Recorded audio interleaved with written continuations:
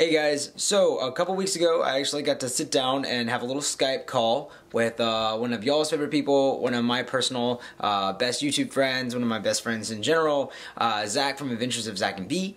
And uh, basically, I have been wanting to do this collab for a while and finally got on the ball and did it. And it's all about attending colleges in the South. So, what it's like being gay at SEC schools. And so basically, I just wanted to like compare notes and see what it was like comparing Mississippi State University to the University of Alabama, and you know, just kind of seeing what was similar, what was different in our experiences at those places. And so, gonna dive right into that. And so, here is the interview. But yeah, I figured today, like, I just really want to dive into and talk about like, uh, like like gay culture in Southern College Town. What was gay culture like when you first got to Bama? Like, did you even know of gay culture in Bama? So when I first got to Bama, um, there wasn't even you know I didn't I didn't even know any out gay guys. Um, I'm sure there were some, but the people I was I was hanging around, you know, there were no out gay guys in our mm-hmm. group, and we didn't really associate with out gay guys. I'm not proud to say that, but you know, I definitely adapted the mindset of you know, uh, we're not going to hang out with you know gay guys who are out and who are proud and all that. And so, um, you know, Icon's been around since I did an interview with Kyle, the owner of Icon. Um, I've talked to him a few a few times, and uh, I did an interview with him, and he told me Icon's been around for for a long time. And so, uh, I was I was really surprised because I'd never heard of it, and I'd been all around Tuscaloosa. The first time I ever went to Icon was 2015, so I was in my junior year, and yeah. Before that, you know, I'd never heard of it. I'd never seen it. I guess I'd probably passed it, but um, uh-huh. it was just never something that I knew was out there because I, did, I didn't have interactions with other gay guys. And on Grindr, the only interactions people would have were hookups.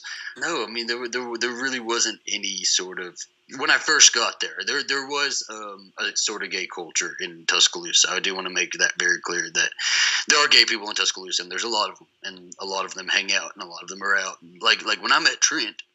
Um, he's really who started introducing me to other gay people, mm-hmm. and he uh, I didn't go to Icon with him for the first time, but he and I started going to Icon more, and uh, like that's really where I started, like you know, seeing like, wow, I'm really surprised that there's you know, gay people who are out here and who really you know don't care so much, because uh, I think that's a big misconception is that, and in southern college towns, it's so hushed hushed. Um, but it's not always like that. There are, you know, just like with everywhere, there's sections that are very hush hush, and then there are sections of the town that are, you know, a little bit more out and proud about it. In Starkville, like when I first got here, I was like, I'm like the only gay person I know here. Like that's great. Yeah. And uh, for me, it was just like trying to like I lucked out, and one of my first roommate was gay, so like that was like a blessing in disguise. Yeah. But um, we have like we don't have a gay bar. Like it's weird because a lot of like the gays like to go to one bar uh, called Dave's, but then like all the drag shows are hosted at a different bar called Rick's because they have a bigger stage. And yeah. so like a lot of people don't even know. Like I'll ask my friends, I'm like, "Hey, you want to go to the drag show?" They're like, "We have drag shows here." I'm like, "Every single month we have a drag show." so those like, are those those two bars you mentioned. They're not gay bars. Neither of them are gay bars. No. Okay. So that's interesting. So here, I would never see any of these bars that, if they're not the gay bar, not here. I, I act like I'm still in Tuscaloosa. in Tuscaloosa, any bar that's not Icon, they're not going to do drag shows. They're not going to do gay events or anything like that. So yeah, that's that's interesting. So going back, do you think like that gay culture has grown, or do you think it's about the same? Um, okay, so yeah, when I, I, wanted to tag on to the end of what you were saying, it's it's. I think it has definitely grown.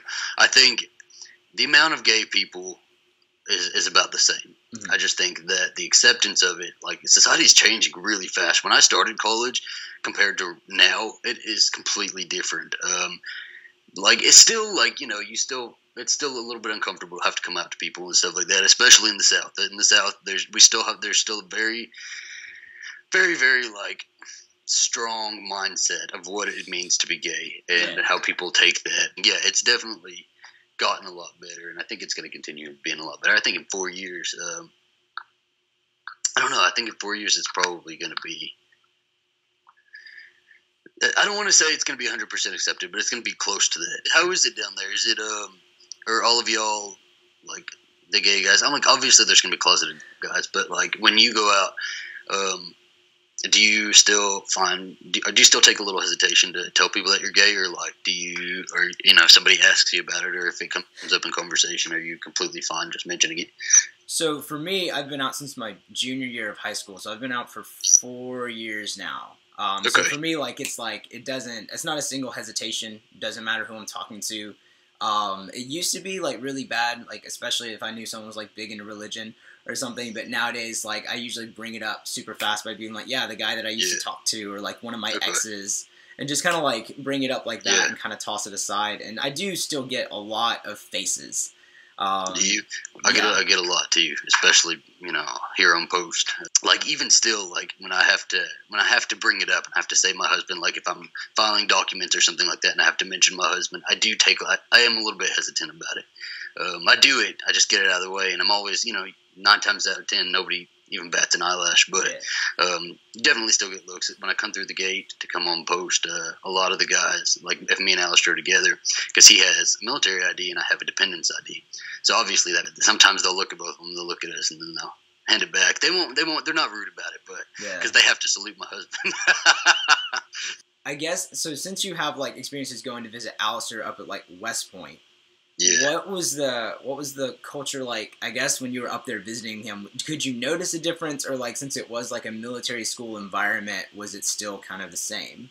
I think uh, because it was a military school environment, I don't. Nobody ever gave us any problems. Nobody ever gave us any shit. But um, I think that they're trained to be so alike that there is no diversity there really. Like aside from like skin color and stuff like that um, nobody like you can't tell really who's gay. You can't you know. But like when they go into new york city and stuff like that everybody you, really see personalities start to come out. And so um, like he would take me to gay bars and you know i met a couple of his friends and like nobody ever gave us any shit. Um, so I, I think up north up north and West Point are two completely separate things. Uh, yeah.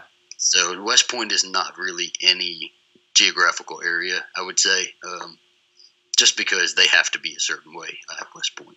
So did you ever did you ever face any like discrimination in Tuscaloosa? Aside from my own friends, uh, not really.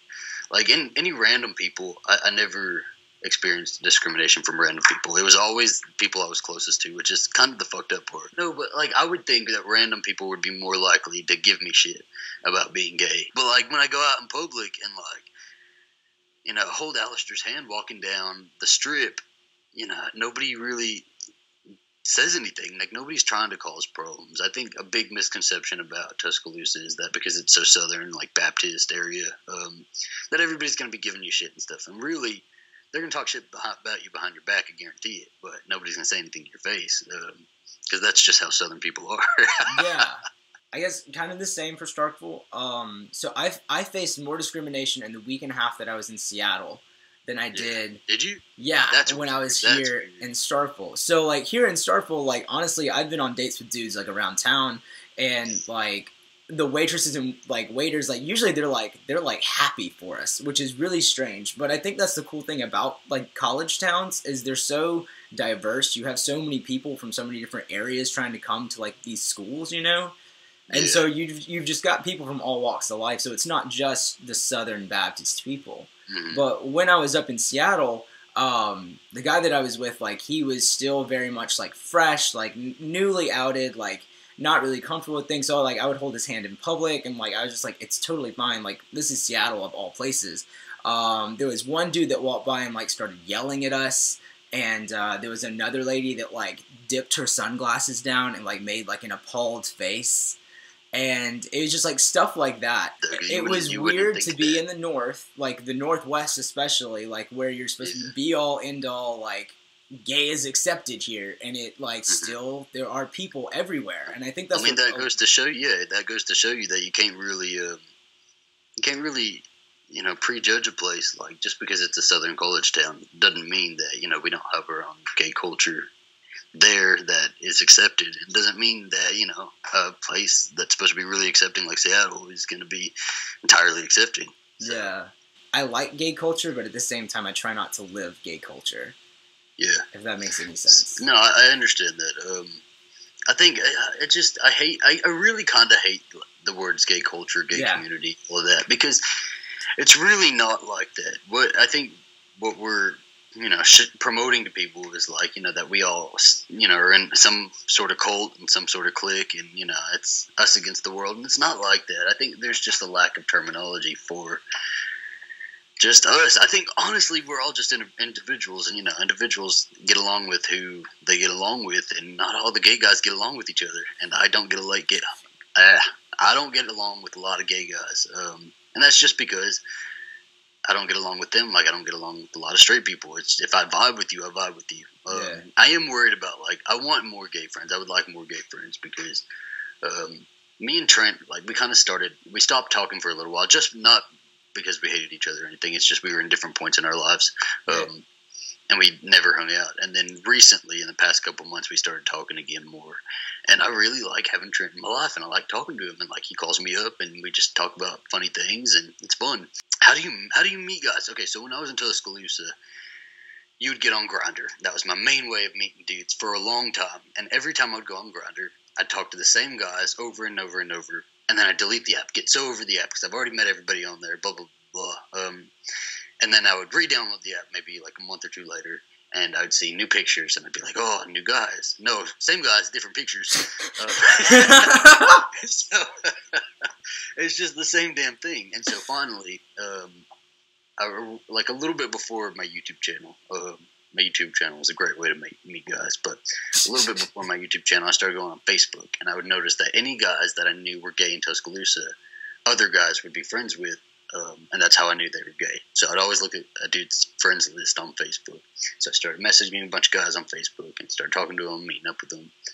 Um, but like in Tuscaloosa, it's a very very small pool of dudes. Yeah. Uh, either you talk to the same dudes over and over again, you deal with it. So how do you? How did you?